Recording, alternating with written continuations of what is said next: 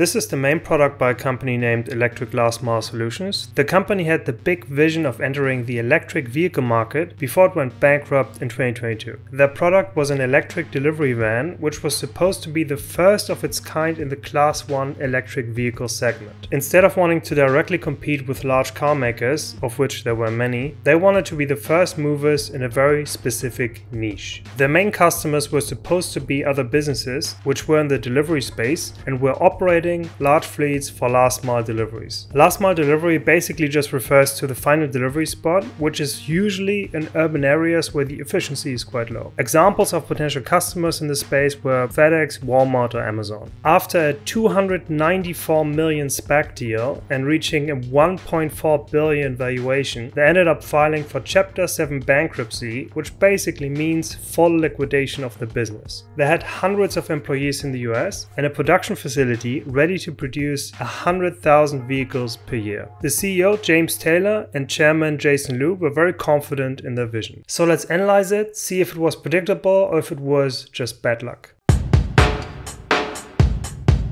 Electric Last Mile Solution was founded in 2019 in Troy, Michigan. After operating privately for a few years, they announced a SPAC in 2020 and went public in June 2021, which provided them with the 294 million in cash. In a 2021 press release, the CEO said, "In the second quarter, we successfully closed our business combination, providing us with sufficient funds to execute our business plan." This sounds great, right? But they kept burning cash, which you see in their financial statement. As an early stage startup, this is normal, but if your company's main selling point is fast execution, the first mover advantage and low cost, then you're expected to reach revenues fast. They did manage to gain some revenues in the last reported quarter, but much of the data that should be available for 2021 is unavailable. They went bankrupt in mid 2022, but the required annual reports for 2021 are completely missing. So why is that? They had some troubles. Some executive, including the CEO James Taylor and the chairman Jason Luo, bought up company shares back in 2021 at a discount right before announcing to go public in September. They ended up being investigated by a special committee. They were also late in publishing their quarterly results, which is in violation of the Nasdaq listing requirements. They then both decided to step down from their positions and abandon ship in February 2022. Just a week later, the auditor resigned as well, and then only a few weeks after, they ended ended up filing for Chapter 7 bankruptcy. So, why did it turn from being on track to be the first and having strong demand to a full on company crash? This is the CEO and co-founder of the company. He is talking about what is different about their technology. Product is different, as you can see behind me. Uh, we'll be entering a so-called Class One space as the only entry in this uh, electrified delivery market. And this uh, e-commerce explosion, let's call it, of uh, demand on the last mile deliveries, but a huge amount of pressure on the delivery companies to come up with economical solutions to that. And uh, we'll be unique at the bottom end of the market here where they're looking for low cost, highlight low cost, reliable, and as our name says, you know, last mile delivery solutions. You said the market's pretty crowded at the top end and even the middle with some new announcements, but we'll be the sole first mover in, in the bottom of this space. Competing on price is always tough. You're basically hoping that you can enter a very capital intensive market with a low cost product and beat large competitors on price. They're betting on launching a product quickly, which basically means that they want to enter the market and scale with a minimum viable product, because this is what you're going to have if you try to develop and launch really, really quickly. The problem is, if they can develop the car that quickly, then there's no reason to believe that large manufacturers can't just do the same. Their core selling point is low cost cost, but cheap is always a tough sell, since it's often a trade off with quality, and it also often requires scale to be profitable, especially when it comes to hardware intensive businesses like car manufacturing. Also, they didn't even quantify the savings here. Calling a 30% larger storage capacity a commercial differentiation from the clearly abundant alternatives also seems like a stretch higher value chain costs are not a good thing for them. If you compete on pricing, then that means your margins will be really slim. And you depend on raw materials being low cost as well. This is especially true if you don't have the sales volume of a large competitor and you don't have the trust of suppliers as a well known component buyer. I have no clue why they thought this was a good idea to add Alien. A model that many startups pursue is to buy finished components from suppliers and simply assemble them. This is very common, but there's a danger that if the assembly step is too simple or involves no intellectual property at all, then you can be easily pushed out of business. This doesn't mean that you have to manufacture everything from scratch, but you should be mindful about how important your role in the value chain is. We'll be using existing, reliable hardware, platforms, parts from an existing OEM that's already in market and running today, allowing us to get to market much faster, but also at, at a much, much lower cost than the other EV startups. So all in, we have a, a, different business plan. It's a unique approach. They're basically purchasing everything and are assembling it. This is fine, but again, it can be a problem, especially if semiconductors are suddenly more expensive and in short supply, as they started to be in 2020. Yes, you can say that the whole model was flawed in hindsight, but the shortages started before they even announced the SPAC, so they knew about the problems. The cost of batteries, expensive semiconductors, they were definitely aware of the risks. They only have two real technology differentiators which are price and cargo space, while the rest are derivative like volume per mile or commercial like warranties. I've no clue why they didn't even show their own price here. If you compare the pricing to competitors and actually give a number for the competing price, you have to give a number for your own price as well. This is the one you actually can know. Sometimes you don't know competing prices, but you should definitely know your own price. He said it in the interview, it's about 32,000, whatever. Just adding a check mark in your pitch deck seems kind of odd. And they have some strange side businesses, like upfitting vehicles and then vehicle data. They seem like a big distraction and maybe were designed to give investors some add-on reasons to invest, like, hey, we have all of these other businesses as well. But it doesn't seem too aligned with their strategy. It's kind of in the same area, but it doesn't really seem too aligned with what they do day to day. If the main selling selling point is that you are a cheap, bottom of the market solution. So why do you need the data collecting infrastructure? Why do you have the upfitting workshops? This just seems like a distraction.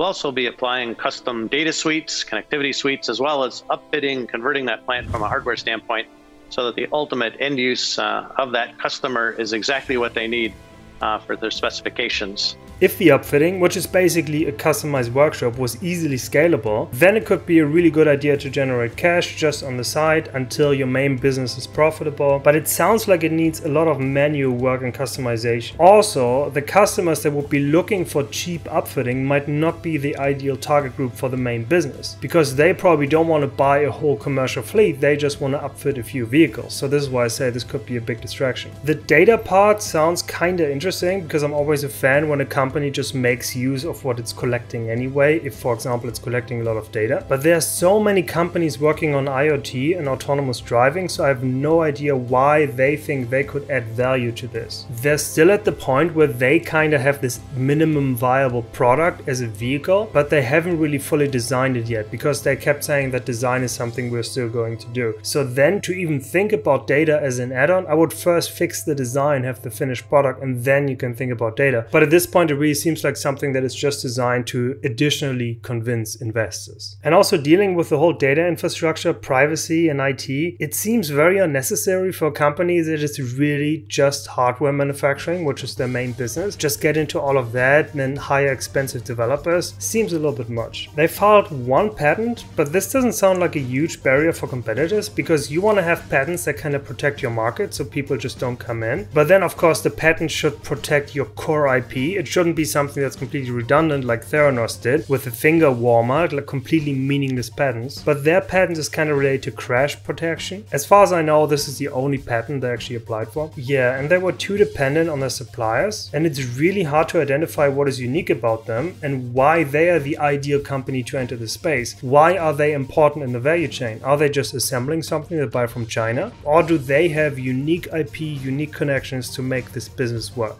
Actually, no, we have a unique business relationship. We've established contracts with uh, OEMs who already have these platforms uh, in the market running. So we inherit their proven, reliable products, systems, uh, parts, all the software that comes to us. We adapt those for the US situation, specifically the safety systems that have to pass US compliance. And as part of that uh, transition from the uh, parts that we have coming into us and the ultimate integration, uh, we build those in our plant in Indiana and send those to our final customers. The advantage of using an existing platform rather than starting all new is it literally saves hundreds of millions of startup cash as well as gets us to the market much faster in less than a year uh, compared to the typical three or four years.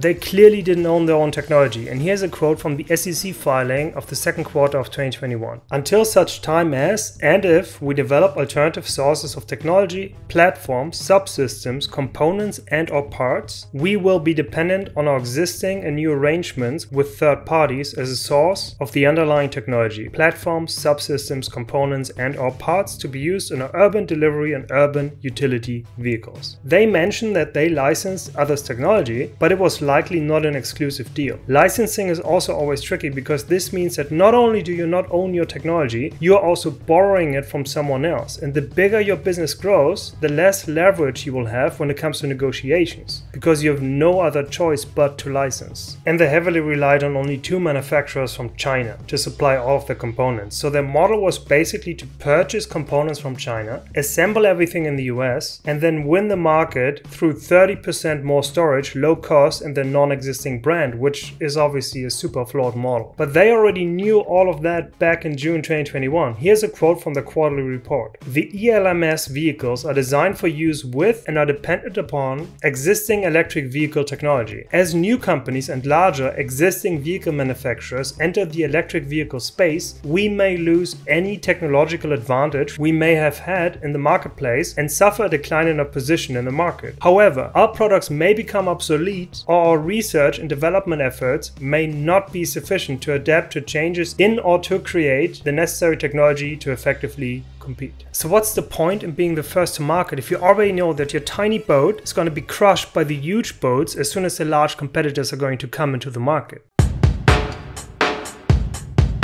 it's important to us as a new brand, you know, earn, earning our reputation from the beginning and making sure that the, we hit all of our quality gates. And, you know, that's something that's normal in auto companies to have those uh, discipline and uh, focus on the execution at the detail level and uh, gain our respect with our customers. So we want to launch at the appropriate rate through the uh, fourth quarter. Every startup always has to build brand from scratch, and especially things like reliability will take a long time for customers to assess. They even acknowledge this in their written report. We may not succeed in establishing, maintaining, and strengthening our brand, which would materially and adversely affect customer acceptance. To compete on brand and cost seems like a contradiction. It seems like one of these things where you have to pick one or you're really lucky and you can be in an industry where the cheapest thing is also the highest in quality or has the best brand. Usually, the thing that has the best brand has the highest quality, and usually, the thing that is the cheapest has the lowest quality. Of course, there can be exceptions, but I don't think cars are the exception to that. If you want to have a really strong brand like BMW or Volkswagen or Ford, then you need to make sure that you have really high quality, and this means it's probably also going to be a little more expensive. Quality and brand doesn't always have to go hand in hand, but I think when it comes to cars, it has to go hand in hand. I don't think it's a surprise to anyone that the car industry is already super competitive. Why is it that all the failing startups keep saying the same things? This is an untapped market, which means there's no competition. We'll be entering this uh, small van, uh, short delivery, so called urban delivery with our initial vehicle this fall. So far, there are no other announced entrants in that space, so we'll have uh, all white space and get uh, early first mover status to grab some share. White space basically means that they have no competitor in the market. They say they have a clear differentiation and that they are the only EV player in class 1, 2, 3 and urban use cases, which sounds like they're not really seeing the competition as a threat. I agree. There's a super competitive market coming now uh, forward in the EV space, uh, especially GM and Ford's uh, huge announcements for their commitments. But we have a different uh, approach to this, Phil. Let me go through a few of those for you. First is we are a pure play commercial electric vehicle company, meaning we're not in retail and commercial, strictly in commercial space. That's different than the others. Uh, second, we're launching into an empty part of the market, white space, down in the electric van, uh, so called Class 1. No other competitors announced uh, from the legacy manufacturers or the new EVs. So they sell B2B, they're the only class 1 vehicle, and they are fast and cheap. So the fact that he's saying that they're buying existing technology is already a red flag. Because what are you investing in? What is the unique IP that they own? There clearly are competitors. The vehicles shown here are not electric, so I'm not sure why they included them on their main competitor slide. Here are a few examples of electric vans that were available in 2021, but two things. First, if the vehicle is cheaper, then I would definitely put a number on this so that you can compare compare and see if it's a significant improvement or not. Don't just say lower or higher, that's just too vague. Second, the 30% more cargo space doesn't seem like that much of a differentiator since this should be very easy to copy for competitors. And who says that each vehicle will always be at 100% space usage? Especially when it comes to last mile deliveries, which are notoriously inefficient. The load is going to depend on the need in the area, the routes, so I would expect that the vans are below full capacity most of the time anyway. And if it needed more capacity, it could make sense to just buy a larger vehicle. You know, the demand, they're looking for electric products, as you know, with the extremely high pressure for them to achieve their commitments for green, for sustainability, for credits, and there's nothing available in this bottom end space. We're not competing with RJ, with Rivian, we're not competing with Lordstown, we're not up at the high ends of these other uh, products that have entered the large, say, UPS uh, vehicle space. So at this point in time, we're alone at the bottom in the price point that uh, we'll be offering our customers we are alone at the bottom is kind of the worst quote a CEO should say. We are alone at the bottom, even if you mean that yes, you're competing on price, which is perfectly fair, but to say we are alone off the bottom is kind of a horrible sentence. But you can see that they really think that this differentiation would have been enough. But in their report, they have to actually list the risks and are much more transparent. They acknowledge the intense competition and also the name recognition of the competitors. I don't know if you remember, but the world was ending back in 2020, which was the year ELMS thought, how about we go public? This was the time when the world came to a full stop, supply chains were frozen, and things like semiconductors were in short supply and expensive. Obviously, there's never a good time to start a car company, but it's very competitive and very capital intensive, and this made it much worse. So, did they really just have bad luck? Was the pandemic the reason why they didn't succeed? In the third quarter of 2021, they announced that they have secured a 6,000 unit order commitment, although it's hard to say how secure this was at the time. Definitely not money that's in the bank. Yeah, we uh, translate that to reservations, hand raisers, you know, early indications of interest to make sure it's clear. These are non-binding. However, I think it's a great indication of what's going on in this space. If you look at uh, not just these pre-orders, but look what's going on. We have the current administration uh, promoting the movement towards this space. We have very large companies like FedEx and the package delivery making uh, aggressive claims as their conversion ratios. We have states like California who already historically been aggressive, but even more aggressive about their mandates and conversions.